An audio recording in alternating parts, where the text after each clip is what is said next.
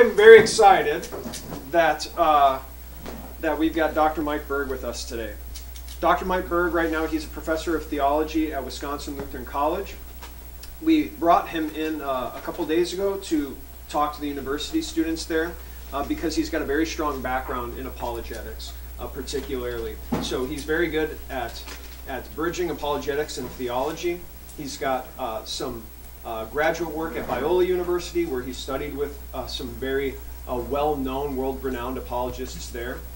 And uh, he's a pastor, uh, same church body of us, so he's got the exact same foundational theology uh, as well. But he's been helping to develop coursework and things like that in apologetics in our church body. He's got a summer church program that he's putting together uh, that him and Carrie Keene, who we had last year, Dr. Carrie Keene, they run this summer apologetics seminar.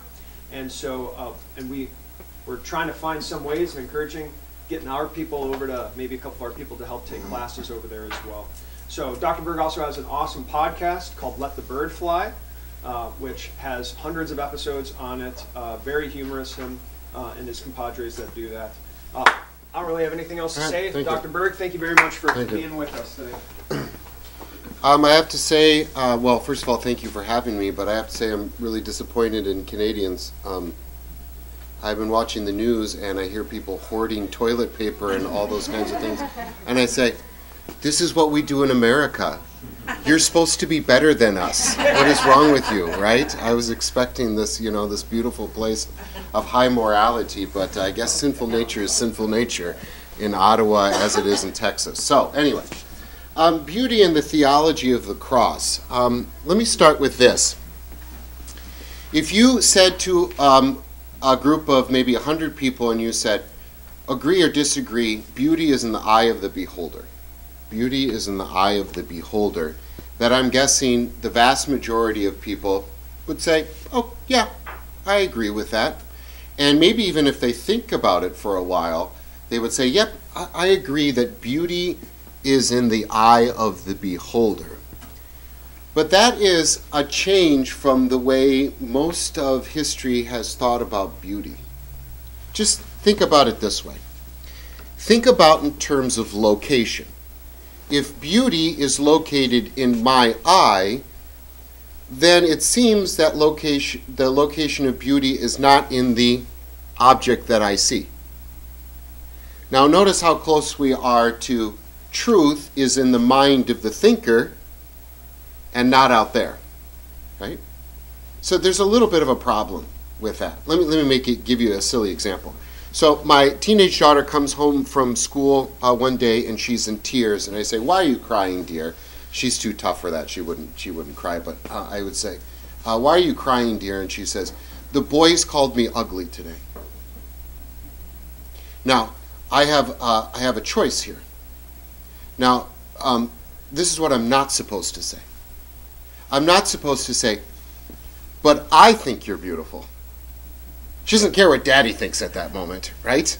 And what if I kind of implied? I say, well, the truth of you being beautiful or not, that's sort of up in the air, but at least the consolation is I think you're beautiful. That's not what I'm supposed to say. What am I supposed to say? I'm supposed to say, you are beautiful, and those boys are idiots. Right? That's what I'm supposed to say. You are objectively beautiful. Like, that's not something that is up for debate. It is objective it's not just in the eye of the beholder. And so, for the most of the time, we've kind of, in the history of world, we've kind of put truth and beauty together, that they are to be judged objectively.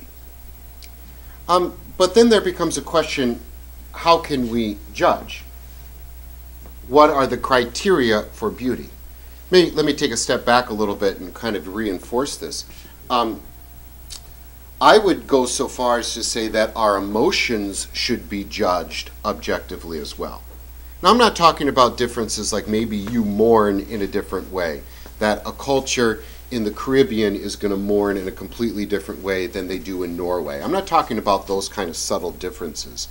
But at the same time, we do judge emotions at the as an objective thing. Let me give you another silly example. Let's say I have a boy. I don't have a boy, but let's say he's five years old, and I tuck him into his little race car bed, and I and I pray, you know, pray with him and say Jesus loves you, and then I go out into my living room, and there my wife has started a movie, and we're going to watch this movie together, and it's it's a it's an R-rated movie. I don't know if they have the same ratings in Canada, but it has a lot of violence in it. It's like a mob movie or something like that. And in this particular scene, somebody is, I don't know, killing somebody else, like an axe murder or something like that. And I look up at this bloody scene, I look up, and there around the corner is my son. And he's been watching this. And I jump up and I say he's going to have nightmares. I may have to take him to a psychologist. And by the time I get up out of my seat, he points at the television screen and says, Ha ha ha ha! Now I know I have to go to a psychologist, right? that was the wrong emotion for that situation. And I think we would all agree that's the wrong emotion for that. So, um, emotion and what we sense of beauty, I think, is tied not just to truth but morality. So, I'll say to my college kids, I would say, imagine a picture of a, and I go way over to the extreme, I say a brutal rape and then a picture of a firefighter bringing down a baby from a burning building. All of you would say, that's beautiful, and all of you would say, that's ugly, and if you didn't, we would have a problem. So here's two pictures. You have Michelangelo's David, you have, um, um, you have the um, um Goya's um, Saturn devouring his son. Now, this may be beautiful in its technique. It may be beautiful because it says something, but we wouldn't say that, oh, that's a beautiful thing, somebody devouring his own child. In fact, we would be repulsed by that. And what makes that art is precisely because we have a morality, right? It's precise, something shocking because we have a moral, morality, or some piece of art says something about injustice or, or is purposely saying something ugly, and it says something to us because, precisely because, we know what's right and wrong, that there is an objective morality. And so I think beauty and truth and morality really are tied together in closer maybe than we think into today's world. So you may be thinking, oh, this seems very exclusive, but I'll come back to that and try to make the case that it's actually, this is the best case scenario for inclusivity. Now, before we go a little bit um, further, um, you may be also thinking, but what about, what about how I perceive things, right? So does not the, the object that is over there, by the time it comes through my senses and in my brain, does that not change things? And, and, and I agree with that to a certain extent, right? That my perceptions can kind of twist things, um, and I need my senses in order to find out truth and beauty and all of those things. But I would still come down on the side that beauty and truth and morality are objectively or should be objectively judged. And maybe my perceptions are a little off. Maybe I'm the problem and not the object being the problem. Um, just because I maybe have a different preference than you doesn't give me the right to call something beautiful or ugly. So, my youngest daughter, for example, she's not really fond of reading. So she comes home and she has an assignment to read like two or three uh, uh, chapters in a book. And she says, I don't want to do it.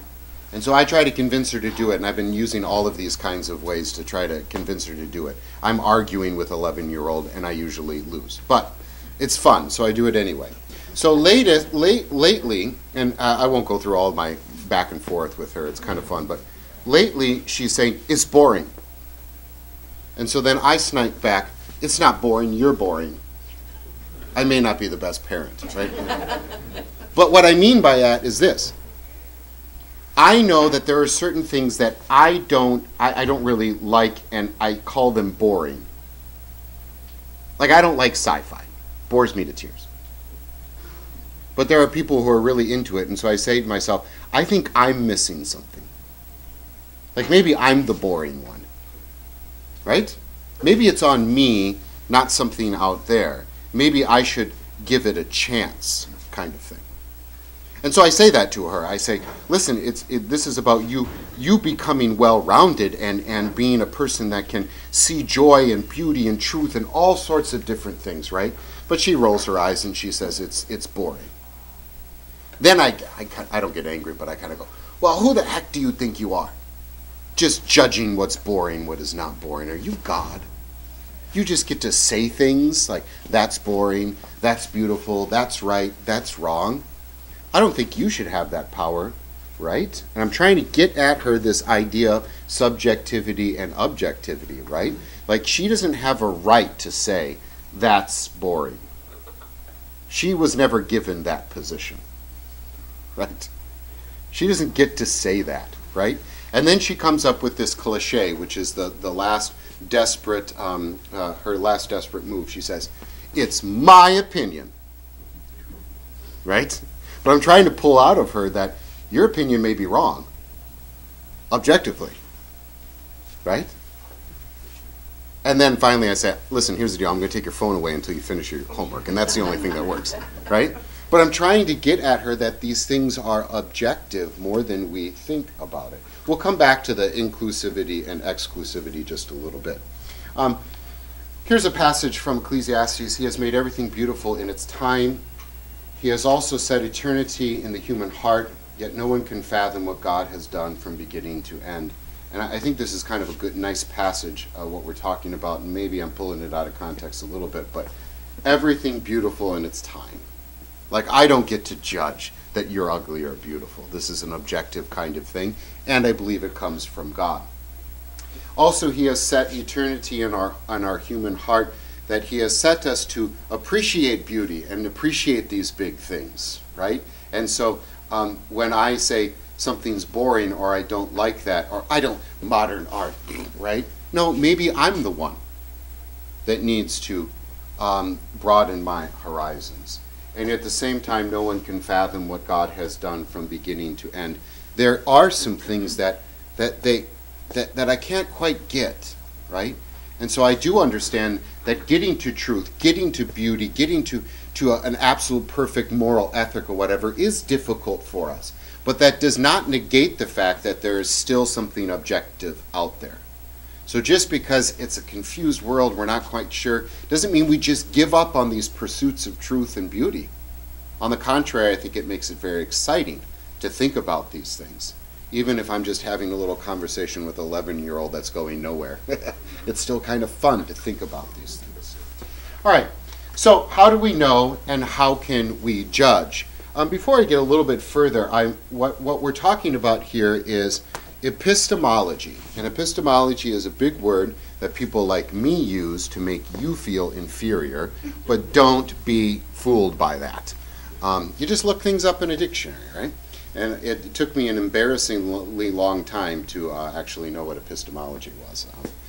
Um, epistemology is just the study of knowledge. How do we know what we know? How do we get knowledge? That's all that is. And so, what we are kind of talking about here is epistemology. How do we get to know and how can we judge things? And I think the history of art goes along with the history of philosophy as we try to ask these questions. So I'm going to breeze through some, some kind of history of art stuff. It's, it's just one little thing I'm talking about here. I wish I was an art historian. I'm not. And so I'm certainly not. If you're into art, you certainly could add a whole lot more um, to, to, to this discussion. I just noticed something and I wanted to point it out to you. So there's a lot of transitions in art history. Um, Byzantine art and maybe even uh, kind of what we maybe call Old Gothic, although I don't know if I'm right, using the right term there. Think about this as a, a Duccio, uh, Mary Magdalene coming to, um, coming to Jesus. Things are flat. They're two-dimensional. And everybody's got a halo. Like everybody but Judas has a halo, right? It is, it is something that you are, you think about an icon, right? Like this would be an icon of, of Jesus, uh, and maybe you've seen ones that are mosaic. You are pulled into this thing, into something spiritual. So you notice you're like, this is not like the technique of trying to make this hand look real. The, the artist is not really concerned about making sure that we see that there's knuckles and stuff like that. The point of this painting is religious. It is to pull you into it, kind of thing. And it is to give us a religious message. And it tended to be kind of flat and stuff like that, right? Like, there's no landscape that looks like this, right? But this landscape is trying to tell us something about the scene, and it's a theological something that it's telling us. Now, notice that truth is from God, and beauty is from God in a certain sense. Um, and it may even be that it can get it can be almost superstitious, and we can get kind of maybe into a medieval time where truth is from God. That's a good thing that we're thinking about it. But it also could be kind of superstitious because it could be anti-rational. So why does your why does your village in France have the plague? Well, because God's angry at us, clearly. Right? who's the one who sinned in the in, in our little village kind of thing? Instead of saying well maybe there's actually a virus. Or maybe you know maybe you should stop throwing your waste in the streets. That would help right? So it could be epistemology of that kind of pre-modern pre-reformation renaissance could turn into a little a kind of superstitious kind of thing. And so medieval art great advances i mean just awesome stuff um, um, and, but still still very religious in its in, in, its in its tone, right? Especially in the West, especially in the West, right? Um, but uh, uh, lots of intricate stuff and using different mediums and stuff like like that. And a lot of it was to the glory of God to tell us something about God. When we get into the Renaissance a little bit, we start to get um, kind of a good humanism, where we start to depict humans and humanity and, and pulling stuff from the ancient uh, Greek myths and Roman stories and this kind of stuff. And so you have the birth of, of, Venice, uh, Venus, which is um, at the at the Vatican uh, Museum. And now you start to see uh, the artist is really going into the details of who a, hum, who a human being is, right? And so very much concerned about how the eye looks stuff like that, right? And but it's also telling a story of humanity, and this is a rebirth of humans' ability to rationalize things and science and all that kind of stuff. This is kind of the sweet spot where we're still doing religion, but we still have the best of, of humanity there.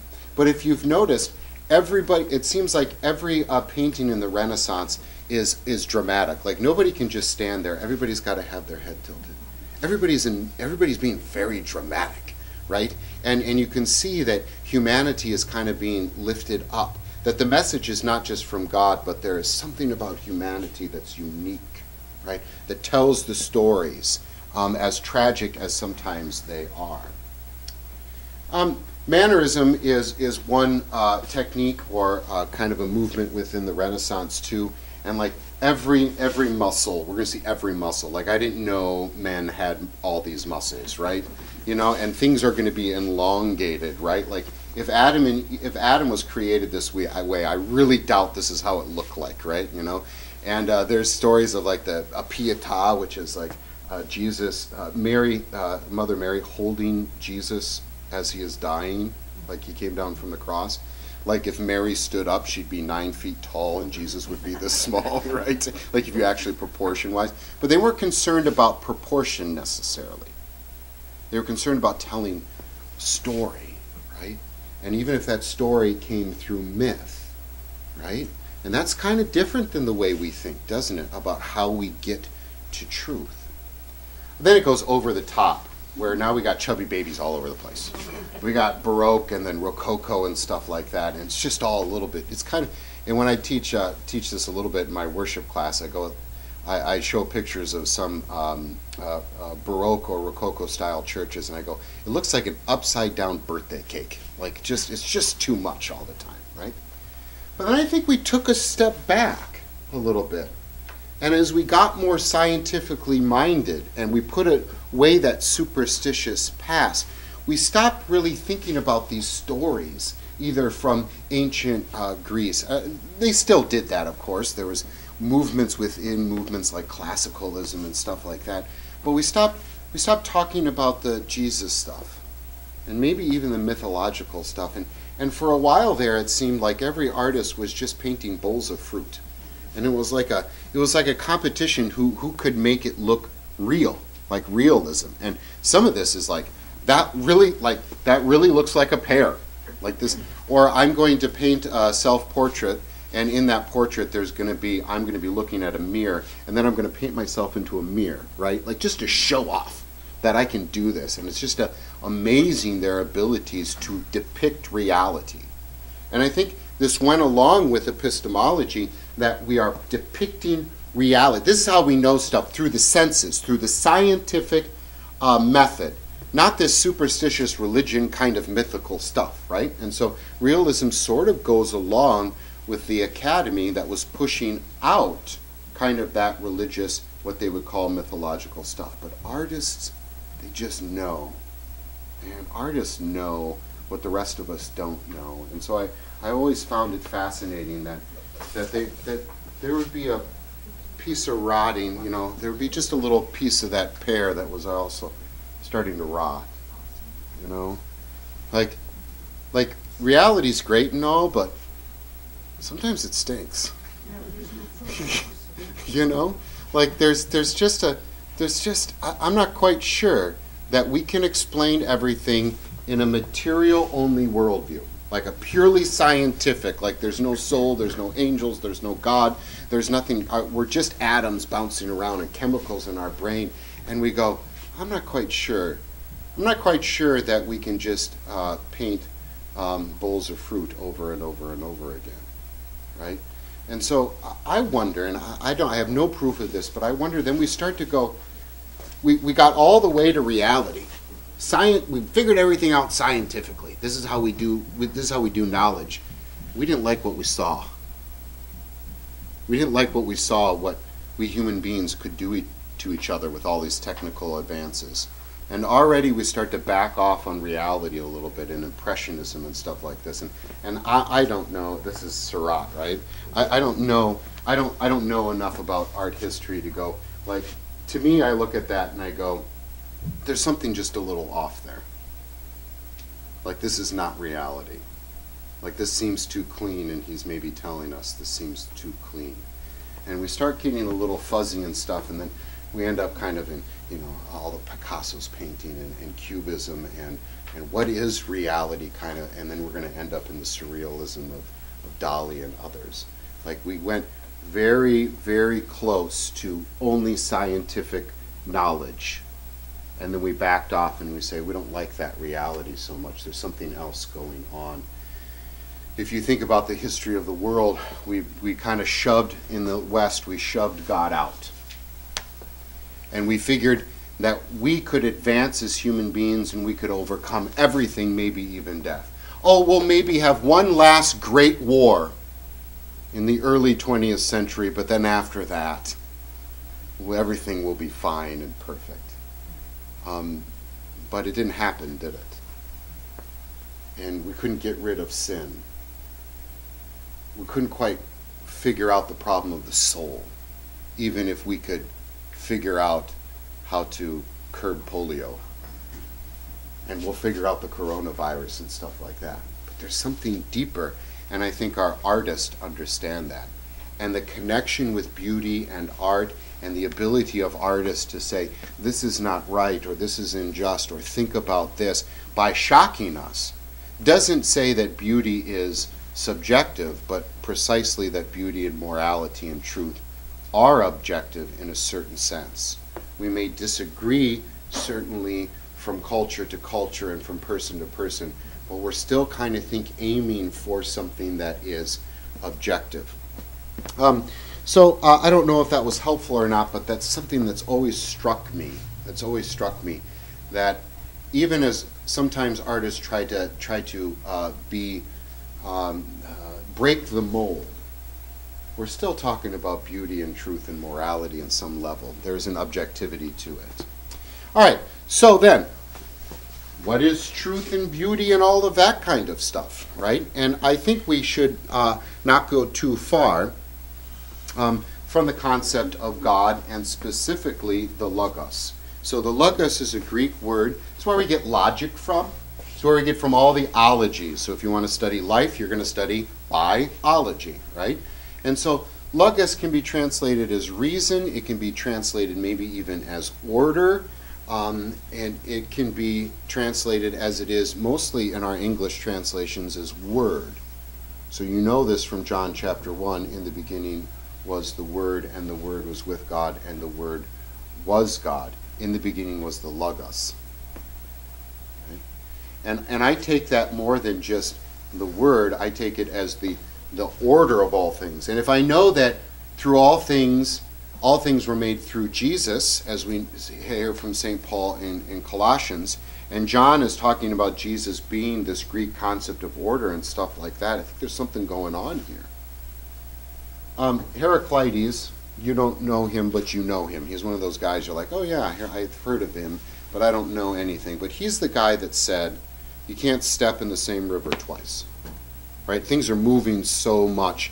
And he seems to be saying, like, we have no concept of truth. We can't get to truth because from moment to moment things have changed so much that there's no there's nothing there's no standard.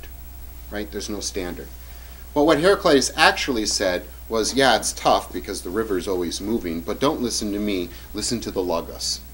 This kind of concept in Greek uh, culture that there was still an order, a reason, a Logos, something out there.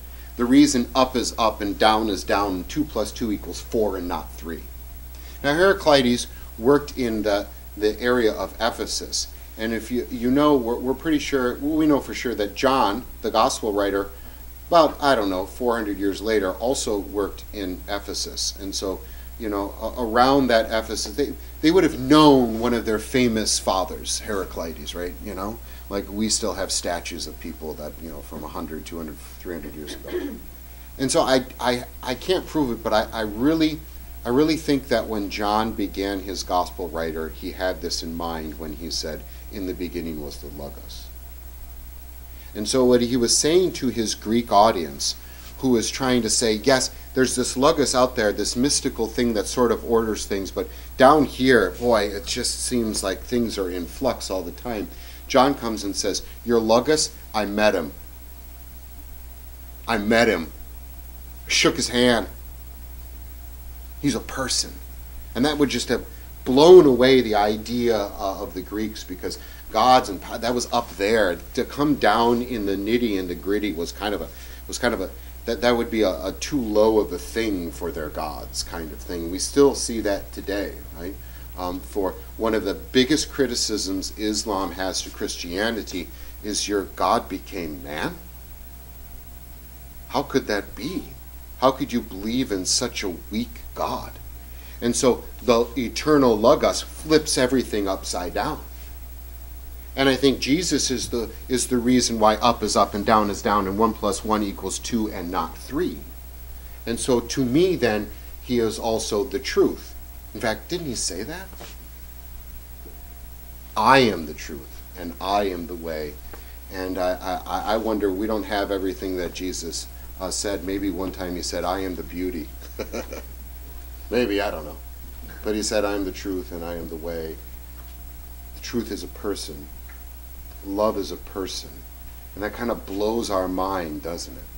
But it's out of love that it's not something up there. I don't have to climb a high mountain to find some sort of enlightenment. I don't need gold and silver.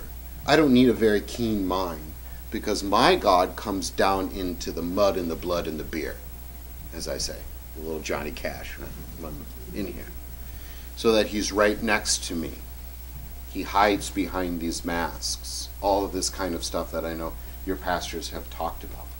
So, this kind of a side note too, but when we think about beauty, and, and, and people have, um, we want to put everything into a like kind of an algorithm or mathematical equation because that's how we think we get to truth. The only way to truth is kind of an objective sort of mathematical thing or something that we prove in a laboratory, right? The, the artist and the poet, they're just playing, right? This is kind of our modern, uh, modern mindset. But even then, we see that beauty is, tends to be objective, right? Have you ever heard, like, you know, uh, if you give people a bunch of faces to look at and rate them as beautiful and not, um, that people who are uh, symmetrical, those are the ones that we are attracted to, right? Like if you're one eyeball's up here and the other one's up here, probably you're not going to be considered very beautiful, right? And it's to the point where the more precise you are, like in, in symmetry, the more beautiful you're considered, and that's across most cultures. Um, if you're into math, if you're a mathematician, uh, there's certain numbers that are beautiful, like things fit together, right? There's mathematical equations that you say this is like a flower is a flower. Why is it beautiful? Because it's mathematically beautiful. It is, right? I mean, people have thought about this stuff. And so I wonder if order, and I read their morality, then connects ourselves to beauty, right? Like I said, um, you, you, you a, a, a, vicious rape we would call ugly, a heroic sacrifice we call beauty. In fact, there, there, it's kind of a myth that um, that uh, young women like bad boys, or young men like those wild girls. Like we've done some testing on that where you're actually attracted to somebody who is seemingly more moral than you and pure. Like we're attracted to purity. We're attracted to order. We're attracted to peace, usually speak, most, most of the time. Right? And so I think there is a connection with math that is connected with art for sure, that's connected with beauty. It's, it's almost as if there was one orderer, right? who put this into a mathematical way of thinking this world, right? It, it makes sense mathematically. But also ordered morality and ordered beauty. I think, I think John did us a great service when he said, In the beginning was the Logos. And the Logos was with God. And the Logos was God. And a little bit later, and the Logos came down here and lived among us. I met him and you get to hear from him too. Right? This is really kind of it's kind of mind blowing when you think about it. Yeah. All right. Now to the theology of the cross. But when I look at Jesus, in fact, Isaiah the prophet said in, in 53, chapter 53, Jesus, he doesn't he doesn't know the name Jesus. He's talking about the suffering servant, which we identify as a prophecy of Jesus. He grew up before him like a tender shoot and like a root out of dry ground. He had no beauty. Jesus had no beauty. The, the suffering servant had no beauty or majesty to attract us to him. Nothing in his appearance that we should desire him. So here, beauty is kind of connected, or at least it's set up this way as there's, there's an interaction, there's a feeling like beauty and, and many philosophers have talked about this. Beauty has to means that I have a I have a feeling in me, which is as fine as far as it goes, but it's a little bit subjective, right? Like I can feel differently than you can, right? And so beauty can't be judged by this. But what what the prophet is saying is that there is nothing that makes us feel, yes, I want to be, I want to follow the guy dying on a cross. Um, this is beautiful, and I, I choose the picture of the firefighter um, and his self sacrifice of going up and, and saving the baby from a burning building. And I don't choose this ugly thing over here. Because Jesus is the ugly thing. Jesus is the curse. He would have been deformed so much that he would have been almost unrecognizable. And, and in that world, that person was a curse. He got what he deserved. I'm willing to bet that he was stripped naked too, just to embarrass him. Just to embarrass him. Nobody would have said, I followed this guy. Right? So we got this issue with the theology of the cross. Right? That we've kind of said, okay, maybe there's a concept of objective beauty and morality with God and the Logos and all this kind of stuff. And then where we're supposed to focus in on Jesus the most, that's when he's the most ugly. When he has no beauty or majesty that would attract us to himself. And so the theology of the cross is, uh, has an epistemolog- epistemological thing to say to us. Um, maybe we can just talk about the theology of the cross in a very basic way right now. The theology of the cross says this that we go by what God says, and that sometimes does not necessarily go with what we see. So, um, I can look at a good work. Let's just take Mother Teresa, right? Everybody says Mother Teresa does a lot of good works. So, Mother Teresa has all of these good works, and you have some good works too. And they're good. And they outwardly look beautiful. And maybe if, if you you know you play kind of humble and you're like oh shucks you know I didn't I you know I'm, I'm not I didn't it's just my my joy to help out or whatever but in your in your heart you've polished them up like trophies. You have them on your mantle. Huh? Right? Let's be honest. If these outwardly good acts that maybe did great things for the world if they become your idols that you trust so that so that when you meet God you're like here's my trophies. See I was a good little boy or girl see I did better than everybody else. Right? Those outwardly good things are pure evil. And why are they pure evil? Because they work against faith. Right? If the goal is trusting in God, and for one second I start to trust myself, that's not where I need to be. If I trust myself and I go before God and I go, judge me for my life, this is a bad situation for us to be in. Right? Because we will be judged for our lives. And so we want to despair of our own our own lives and trust God that he was righteous in our place and then this guy died on the cross to pay the price for our sins, right? I mean, we all, I think we all agree that's the message of the Bible. So those good deeds may actually be evil if they start making me trust in myself and not God. So what is good, God says evil. On the other hand, I get cancer. And that's evil. It is evil. It's heinous. It's terrible. But if that suffering in my life finally is the nail in the coffin of my self righteousness, where I stop trusting in myself, and the doctor's got nothing for me, and the government can't do anything, and, and I got friends like Job had friends. I got nothing, and I go, finally, I just got to trust, and I fall on my knees, and I trust God. That outwardly evil thing was good. So I sometimes call good evil and evil good.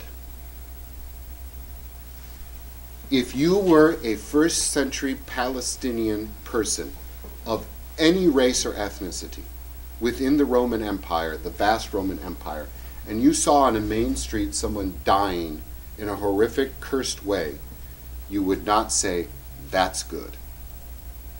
And that first Good Friday, you would have not called good. But God called it good. That that sacrifice, as heinous as it looks, is for the eternal good for so many. So what I see, right, may be something different than what God says it. And I think that's the core of the theology of the cross, at least when it comes to epistemology. How do I know? I don't turn my brain off. I still see things, I still think about things. But finally, I go with what God says it is. I take God at His word. By the way, let's think about words just for a second. Um, uh, I tell my students, uh, I teach like the lowest level Bible. Like the freshmen come in here, you know, and I'm like, take out a pencil. This is college now, kind of, kind of students. And uh, I start out with Genesis chapter one in this class and I say, on the test, I'm going to ask you, the first question is be, how did God create the heavens and the earth? And you better not say with his power. You're going to answer with his words. And right from the beginning, I say this is about words. This is a story, a real story. And throughout the Old Testament and the New Testament, it's going to be about God speaking and the people either taking him at his word or ignoring his word. And when they ignore his word, it's often because they trust their sight rather than taking God at his word. Everything's going to be about take me at my word. Even when I say that's good, even though it looks bad. So, the theology of the cross, how do you live the theology of the cross? I, I think um, what we would, we would say is that there are two, there's two glasses that you can put on. So I'm thinking, I'm looking through the, through the world through these lenses. The one is a theology of glory. So I look at the world and I see that's good. God must have blessed me. Right? So I look at my bank account, I look at your bank account, and we figure out who God likes better. Right? This is the prosperity gospel. Right? Um, you know who the who the classic theologian of glory was was the pre-Pentecost Saint Peter. You guys have probably heard in the last a few weeks Transfiguration, the story of the Transfiguration, where Jesus is up praying with Peter, James, and John on a mountain, and all of a sudden Moses and Elijah are there from heaven. And what does Peter want to do? Peter wants to set up three tents. Why? He wants to bottle up the glory. Let's keep this heavenly glory here on earth. Let's set up three tents. Maybe we'll sell tickets. Right? But what does he say? He says, the power and glory of heaven. There's no way anybody would deny you now, Jesus. Right? Like, this is so good for the cause. Right? This is great. And then the glory's gone, and Jesus goes down the mountain, and we're told in Luke 9 that, um, first of all, he tells the disciples, Don't tell anybody what you saw. And then he says, we're, res- he, we're told that he resolutely set out to Jerusalem, and that was for his passion. He says, Don't you understand that the Son of Man must suffer many things? Right? So Peter had the lens of glory on. This is very rational.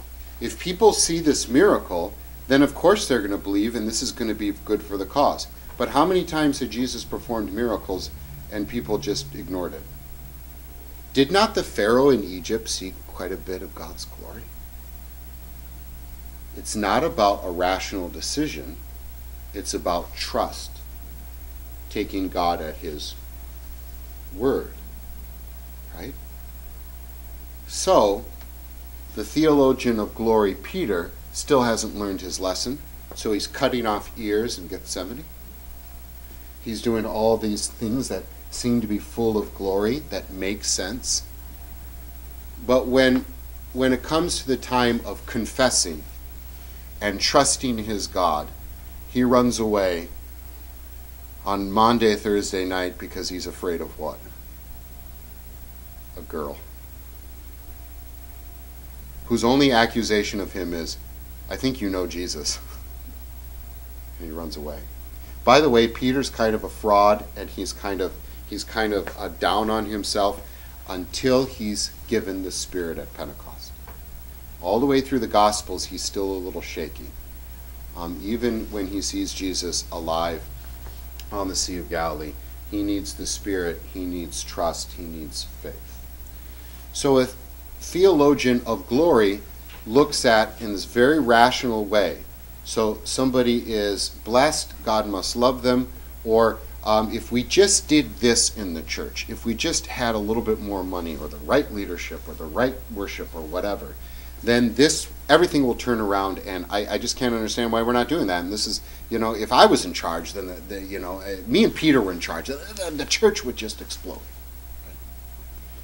Um, this is a theologian of glory's glasses, but a theologian of the cross puts on the glass uh, of the cross and sees everything through the prism of the cross and we see that something that was so ugly and awful and terrible was actually good. So now I look at my life and I even can find in suffering something meaningful and good, right? And so we did this on Friday night, but let me just do a little thing about Job real quick to kind of hammer the point point home. If the goal is faith in God, I think we'd all agree. The goal is faith in God. And the opposite of trusting God is trusting in something else, usually myself, right? Then it seems to me that God needs to beat the false piety out of me once in a while. So I can rejoice in my sufferings because God is pushing me away from myself. You ever think about doubting Thomas, right? I love this story of doubting Thomas that we get the Sunday after Easter. Underrated Sunday. Everybody goes to Sunday on, on Easter Sunday and they're like, well, it's time, it's after Lent, it's time for a break, and they don't come to the second. Go the second Sunday of Easter. That's the story of doubting Thomas. It's so great. And I love the story of doubting Thomas being in a room with closed doors and locked windows. He has nowhere to go. And by the way, what did he want? He wanted empirical evidence. He said, unless I see where the nail marks here, here and, the, and where the spear went into his side, I won't believe that Jesus was alive. Uh, Michelangelo Caravaggio has a great painting of that scene. It, instead of like kind of a, um, a Byzantine early uh, or medieval, uh, you know, where Jesus has got a halo and he's pointing to his side and Thomas is like, oh, now I believe. Um, Caravaggio has Jesus grabbing Thomas at the wrist and shoving it into his side. Stop doubting your belief. You want proof? I'll give you proof. Right? Kind of throws him away, right? I think that was probably more accurate, right? But the point was Thomas was put into a corner where he had nowhere to go. He had to trust Jesus. Like, I got cornered by God. I think Job got cornered by God. I don't know if Job needed it like Thomas, but he got cornered by God where he had nowhere to go but to trust in God. So I have this feeling that there are times when, um, well, as a pastor, when I had somebody who come, eh, you know people like this, like they just cannot catch a break. Like it's just one thing after another. Some of it's their fault, some of it's not their fault. You know people like this, and, and your heart goes out to them. And I said to one this one man, recovering cocaine addict, um, all around kind of job to bounced from job to job, all around kind of loser, and he knew it. Was a truck driver, and it wasn't his fault, but he got into an accident. Uh, was laid up in the hospital for a couple months, lost his job, and the people that he hit, uh, um, the, everybody in the car died, and he's feeling this guilt, even though it wasn't his fault. And so we're meeting over and over and over again, and, and I told him once, I said, you know, I don't worry about you in your faith, not once.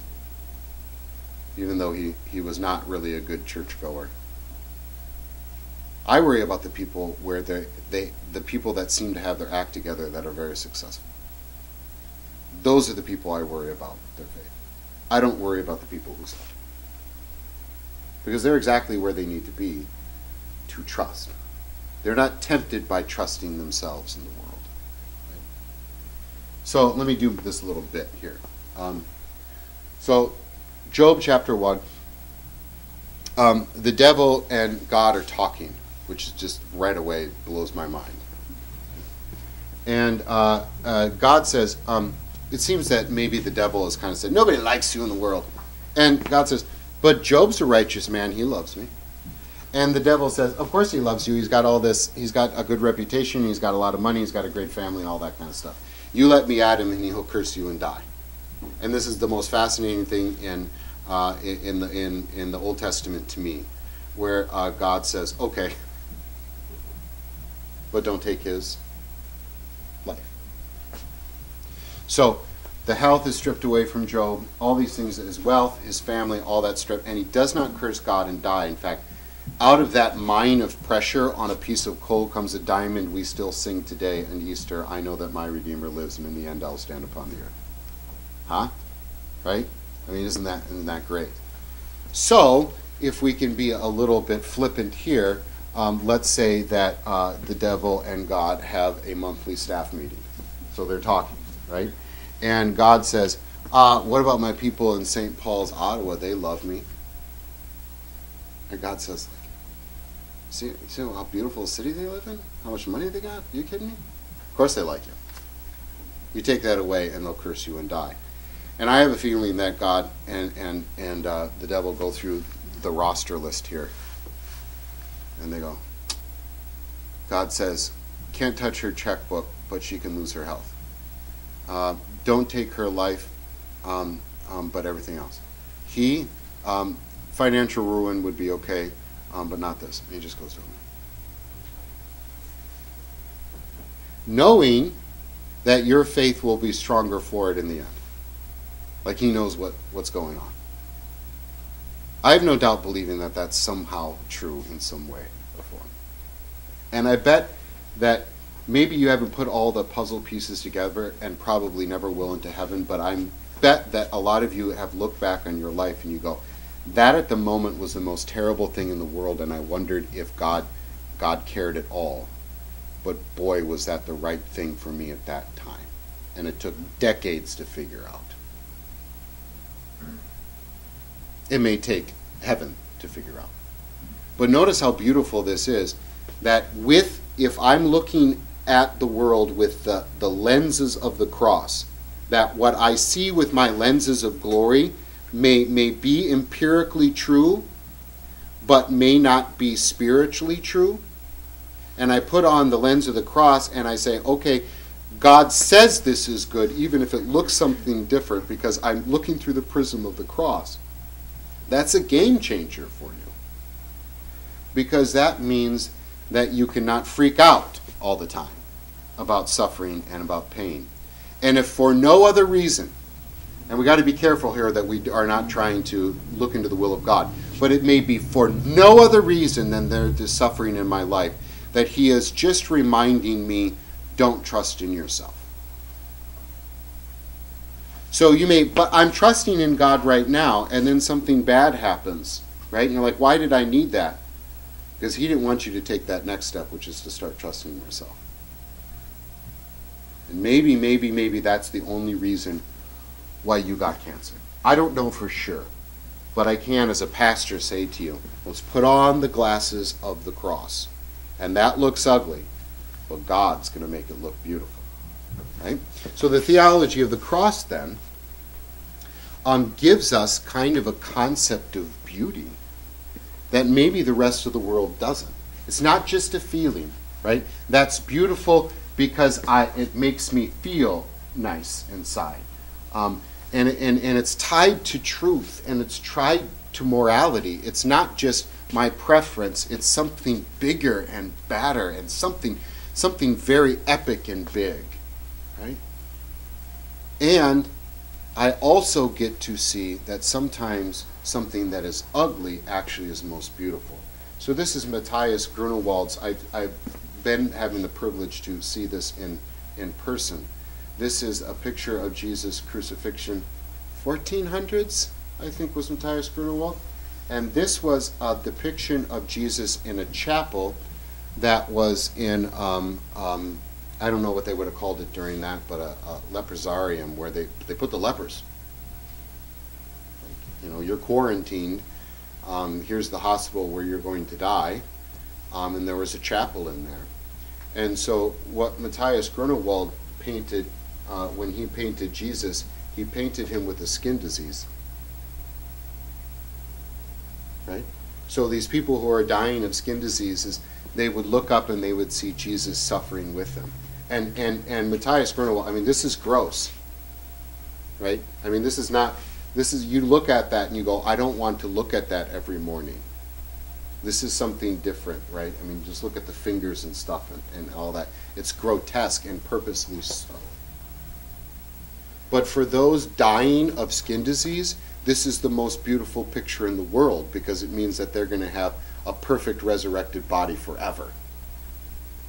So the cross as ugly as it is, is beautiful and makes my ugly life beautiful. That's a game changer?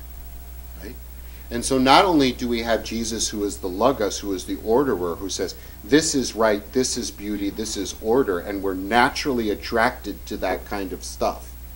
But he also comes down here and loves us enough to takes what is most ugly and makes it beautiful. So that our lives um, are not lost. And our lives are not just here's good, here's bad. Hopefully we have more good than bad. But the whole thing is redeemed by Christ. The whole thing is in the hands of God. So true inclusivity, I, I'm willing to bet that when you when I started my little silly speech here, and I said uh, beauty is objective and should be judged so. The first question was who gets to judge so, and I hopefully I've at least made a case that uh, that you could consider God makes it so, right? But doesn't this seem very exclusive? But I think it's actually true inclusivity. Because if we each have an opinion about truth and beauty, then we are really excluding others. Even if we tell ourselves that we're including others, we're really saying, uh, this is my opinion and your opinion's wrong. Like my daughter.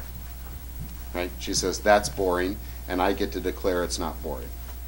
Or I get to declare it's boring, it's on me. Right?